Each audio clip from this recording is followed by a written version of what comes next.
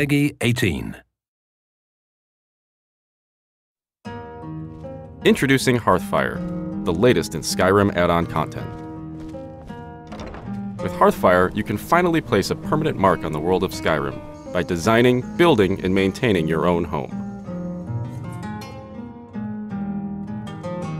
Your first step on the road to home ownership is to purchase a plot of land. After obtaining a deed, use the new drafting table and carpenter's workbench to turn raw materials into your dream house, room by room. Build simple rooms like kitchens and libraries. Attach a greenhouse, enchanter's tower, or alchemy lab to grow and craft your own items in-house. Use the interior workbench to furnish each room with a large variety of craftable objects.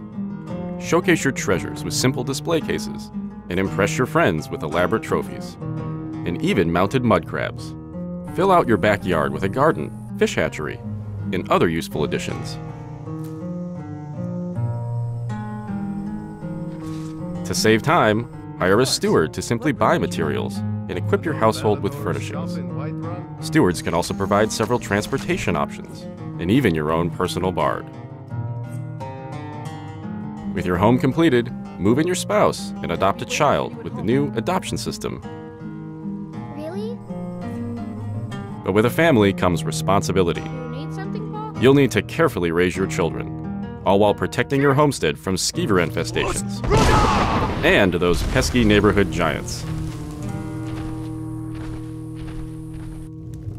Download Hearthfire on Xbox Live on September 4th. So with the epicness of Dawnguard, Bethesda has a lot to live up to with this latest DLC called Hearthfire.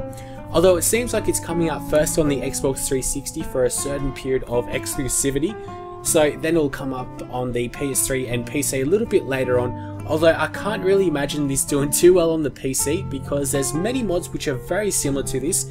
One that I covered I remember very fondly was called RTS for Skyrim and it pretty much enabled you to get all the assets and place them wherever the hell you want in the land of Skyrim. Although that wasn't that intuitive and it was pretty hard and pretty clunky, so I could imagine this being a lot easier, especially for it being on console as well. So uh, no doubt it'll be 10 times easier. Also, you have the ability to like start families now, which is a bit more interesting. I wonder how that'll go. It's definitely turning out to be a bit more of a Sims game with this DLC, and after all, Thankfully, it is a little bit cheaper than Dawnguard. It's only about 400, 400, yep, 400 Microsoft points. So that's only about $5 American. So it's not too much to be asking. And I'm not really looking forward to it too much. I might cover it a little bit, a bit more than I did Dawnguard. Dawn Guard came out on the Xbox, unfortunately, I don't have Skyrim on the Xbox 360, only on PC. So we'll have to wait and see what will happen. But guys, thanks for watching, and hopefully you enjoyed the trailer as well.